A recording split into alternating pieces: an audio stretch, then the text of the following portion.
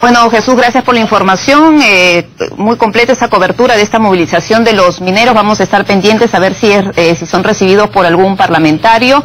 Y eh, retomamos la conversación contigo en cualquier momento. Y tal como lo habíamos ya adelantado a esta hora, está con nosotros en nuestros estudios la congresista de Fuerza Popular, Leila Chihuán. Gracias, congresista, por estar. Gracias, gracias por invitarme, compartir este rato con ustedes. Queríamos, bueno, hablar sobre diversos temas, pero empezar por eh, un tema en particular que nos ha llamado la atención y es el incremento de las horas de educación física. A partir de este año tenemos entendido de 2 a 5, pero solamente para los escolares de educación primaria.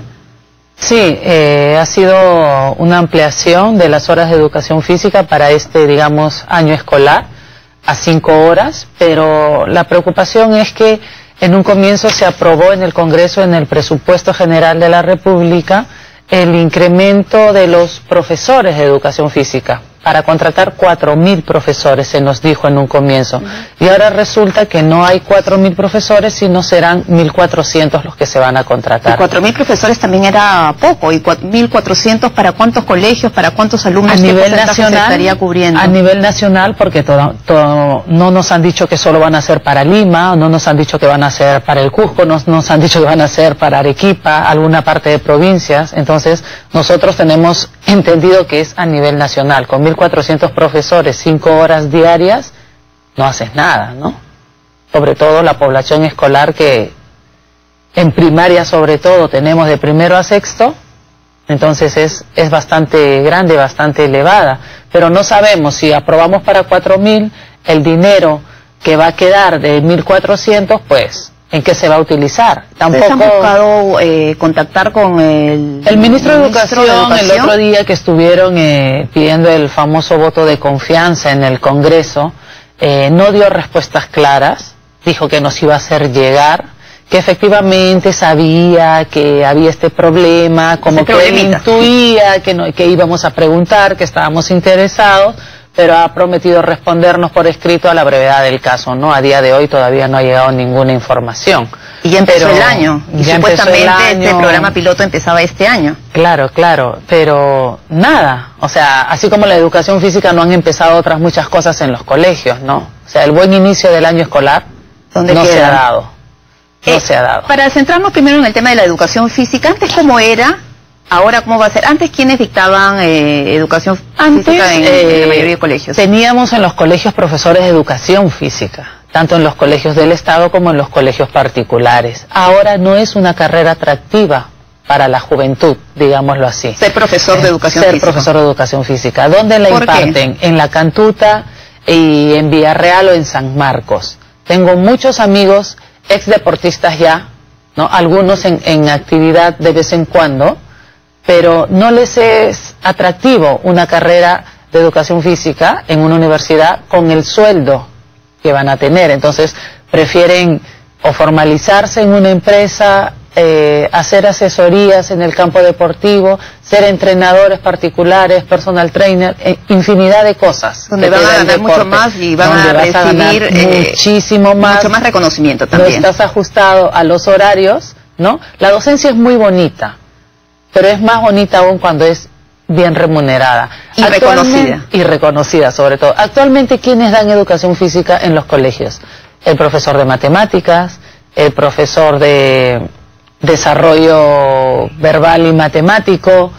Entonces, no tenemos un especialista en los colegios para sí, he visto eso. profesores gorditos que no tienen nada que ver con el tema de la educación física ni los deportes, que creo que detestan los deportes y están enseñando educación al menos física. el profesor de ciencias naturales que imparte un poco de clase, algo de conocimiento tiene, el cuerpo humano, el físico y todo lo demás, pero el profesor de geografía está muy lejano a ser un profesor de educación física, ¿no? Entonces, es también lo que le ofrecemos al deportista de alto nivel, por ejemplo, cuando termina su, su participación de defender la camiseta nacional. ¿Qué hace ese deportista? En un par de años, en unos 10 años, está solicitando una pensión de gracia. ¿Por qué no trabajamos con esos deportistas que se retiran, hacer los monitores, hacer los profesores de educación física, hacer los técnicos deportivos, con un buen sueldo, que aporten al Estado, su seguridad social y cuando termine de trabajar a los 50, 60 años sean felices porque van a ser útiles a la sociedad, van a hacer algo que les guste y van a enseñar. Sus conocimientos van a pasarlos a La docencia es muy bonita. Por ejemplo, yo no tengo paciencia para enseñar, pero puedo desenvolverme en otros campos, ¿no? Más el tema de la gestión. Por Ahora para, no, los críticos, sino para las personas que no están como que metidas mucho en el tema del deporte. Y ellos dicen, pero ¿por qué aumentar eh, las horas de educación física de 2 a 5? Lo que se necesita es que haya más eh, horas de clases de los cursos tradicionales. No tanto así, porque la educación física, mente sana en cuerpo sano, ¿no? Entonces, eh, te da ciertas características, vamos a llamarlo de alguna manera, para el desarrollo y el desenvolvimiento del ser humano, desde pequeños hasta que son adultos, si se sabe aprovechar bien. La educación física y el deporte te da disciplina, te da valores, el compartir, la generosidad, la solidaridad. Tenemos muchos problemas de bullying actualmente en nuestras escuelas. Y en los deportes, de verdad que no he escuchado muchos casos de bullying. No, no se dan. El deportista es solidario, el, el deportista es disciplinado, el deportista entrega todo, colabora. Entonces, si tú tienes a unos niños haciendo educación física, te voy a hacer el ejemplo más simple, y tienen una clase de agruparse de a cuatro, agruparse de a cinco, agruparse de a seis, van a buscar al compañero de al lado. Eso ya le despierta a ellos el instinto de proteger, de relacionarse. Y cuando un niño se relaciona, se protege entre sí, es un niño que no ataca al compañero, es un niño que no se burla del compañero porque siempre va a buscar la solidaridad, la protección. Ahora, este incremento de las dos a cinco horas, que bueno, lo que estaba revisando, que bueno, se va a invertir inicialmente esos 70 millones de soles para la capacitación de estos profesores especializados y luego posteriormente se va a, extender en otros colegios y a nivel nacional también forma parte de este plan de fortalecimiento de educación física y el deporte escolar en los colegios, que también incluye este tema de la eh, desnutrición, de la mala nutrición que existe. El tema de la obesidad también es un gran problema entre los escolares. Sí, pero más tenemos niños desnutridos que obesos. Eso hay que tenerlo claro. Nosotros tenemos un compromiso que todo encaja, porque nosotros tenemos un compromiso muy serio, deportivo, en el 2019, los Juegos Panamericanos. Actualmente tenemos que sacar de donde sea el material humano para seleccionarlo, entrenarlo y de ser posible pueda competir en alguna de las disciplinas deportivas. Cinco años tienen. Cinco años que son muy cortos. Entonces, si hemos hecho un aumento para trabajar con profesores de educación física en primaria, lo hubiéramos hecho en secundaria porque son los que, participarían. los que participarían de aquí a cinco años con 19, 20, 21 años en esta competición que vamos a tener, por ejemplo. Entonces, ¿hacemos o no las cosas al revés? ¿Quién nos está asesorando en estos temas? ¿Quién nos asesora en estas materias? Como siempre digo, ¿hacia dónde queremos llegar en el deporte? ¿Y las autoridades a quién convocan? ¿Quiénes convocan? No lo sé. Nunca en la historia eh, y en ninguna parte del mundo se ha dado que un congreso tenga cuatro deportistas y cuatro deportistas de alto nivel y sobre todo del vole. Realmente es impresionante. Nunca hemos sido llamadas a una reunión para ¿Pero por qué ese desinterés? Vemos los resultados entre los mayores. Acabamos de terminar los... Eh, Reclamamos resultados, terminando los Juegos Pero no empezamos en la base. Estamos terminando los Juegos Odesur. ¿Con qué resultados? Nueve medallas de oro. Los del 2010 nos dieron 19 medallas de oro.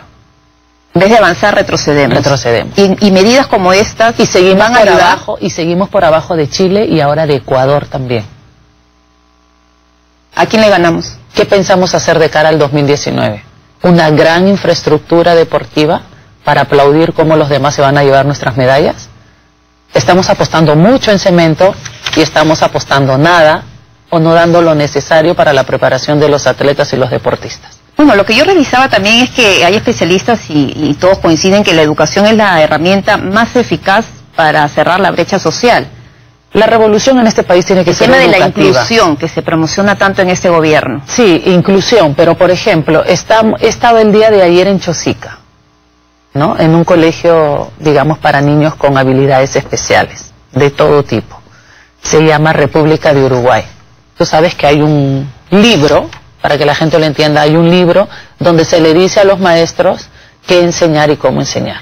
¿no? Parte de la currícula está ahí, en ese libro que es más o menos de este alto.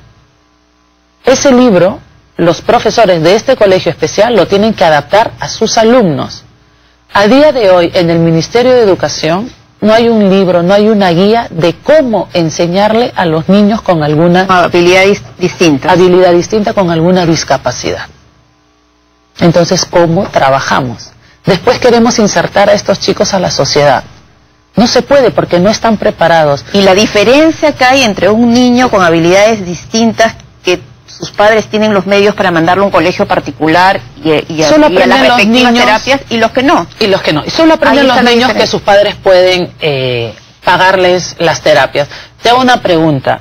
¿Hasta qué edad estamos las personas normales en la universidad? Hasta los 25, 26 años, algunos, ¿no? En estos centros de educación especial solo pueden estar los niños hasta los 20 años, niños jóvenes. El Estado solo mantiene hasta los 20 años. Y después hay niños con habilidades especiales diferentes que a los 20 años aún no están preparados para enfrentar el monstruo social. No están preparados para trabajar en WON, en Metro, en SAG, en algún ministerio porque la educación con ellos tiene que ser constante.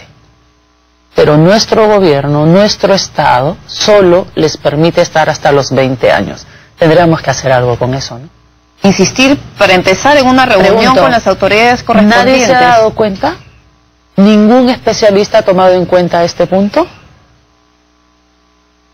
¿Y cuántas comunicaciones, bueno, ese día trataron de tomar contacto con el ministro de Educación, no respondió mucho sobre otros temas, le han tratado de llegar este ministro, bueno, según lo que muchísimos oficios de tiene un excelente currículum. Muchísimos es un gran experto en, el, sector. Es lo que dicen y yo la verdad que tengo fe y esperanza, pero los los oficios y las cartas y las solicitudes que me llegan a mí y yo se las reenvío al ministerio que te las puedo enseñar tranquilamente si me das otro día o te las mando, no tienen respuesta como tampoco tiene respuesta a los pedidos de muchos padres de, familia, de muchos colegios, y tú has visitado, eh, según hemos revisado en esta semana de representación, muchos colegios que no cuentan ni, puer con, ni con puertas. En, en, Manchay. Entonces yo muestro las, las fotos, muestro lo que son los colegios. También tengo que decirte que estoy muy contenta porque por primera vez veo que sol a sol los padres de familia están levantando el colegio el Rotary les está ayudando con un 80%. Y los recursos del Estado, si llegaron, llegaron tarde. si llegaron, llegaron tarde. Y en muchos colegios no ha llegado. Hoy he estado a las 8 de la mañana ahí, ocho y media ha llegado el desayuno de Caliwarma. Eh, el lunes llegó a las diez y media de la mañana, hoy llegó a las ocho y media. Intuían que íbamos a estar por ahí. Hemos visto que faltan carpetas, porque las que están no son adecuadas. Entonces, vamos a hacer una recolección pública, para no decir colecta Justamente estamos viendo, ¿no? Parte de, lo que has encontrado en este recorrido por colegios. Por 500 carpetas. Necesitamos 500 carpetas para implementar Este es en el colegio de Manchay. Sí, las en Mercedes. Le digo a la directora, Manchay, ¿por no se a minutos. Estamos atrás de, de lo grande y maravilloso que es la Molina. Atrás de la Molina existe esto. Y esto vemos aquí en Manchay, detrás de la Molina, qué es lo que pasa en la frontera, al interior de nuestro país. Imagínate, ¿no? Entonces, este, los congresistas de provincias me imagino que tendrán fotos similares a estas. Este es el día de ayer en el colegio especial que estuvimos compartiendo con los niños. O sea, inocentes angelitos que viven que no saben de la a la realidad y a las crisis, ¿no? Quería compartir un, un tuit que tenía de Mario Romanete. Educación física debería ser todos los días, él nos señala, tanto en estatales como, estatales como particulares. Y la primera clase del día debe ser educación física para que los chicos estén despiertos y activos durante todo el día. No debe ser la última cuando ya están cansados de tanta letra y tanto número. ¿Y qué hacer? Hay muchas personas en los colegios que tienen eh, muchas habilidades para los deportes y capacidad para, para hacer deportes, pero sienten que esa deficiencia eh, se extiende. Es que ahora deportistas los valientes, ¿ah? Los valientes y el papá que te puede mantener la carrera deportiva. Los éxitos a nivel internacional, ¿en qué deportes son? La mayoría individuales.